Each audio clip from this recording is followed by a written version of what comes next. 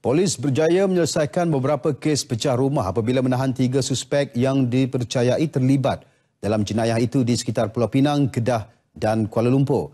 Ketua Polis Daerah Seberang Perai Tengah SPT ACP Nik Ros Azhan Nik Abdul Hamid. Dua daripada tiga lelaki itu mempunyai 17 dan 34 rekod lampau berkaitan jenayah terutama pecah rumah serta dadah. Katanya kesemua suspek ditahan dalam serbuan berasingan di Kulim Kedah hasil risikan polis.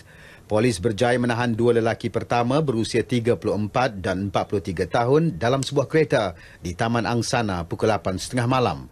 Sementara seorang lagi suspek 34 tahun yang dipercayai dalang utama geng tersebut ditahan di sebuah rumah di Taman Jati.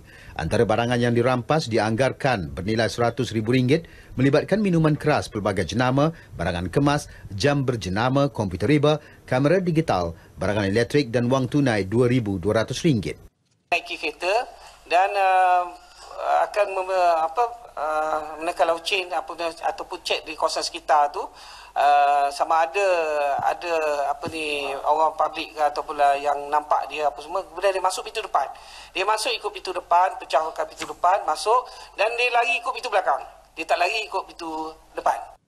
Tiga suspek yang tidak bekerja dan positif dadah itu direman selama empat hari bagi membantu siasatan.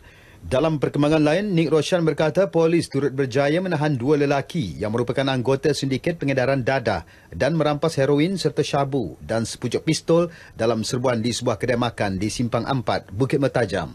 Turut dirampas dua butir peluru dan 50 biji Powerball 177 caliber daripada dua lelaki yang turut didapati positif dadah.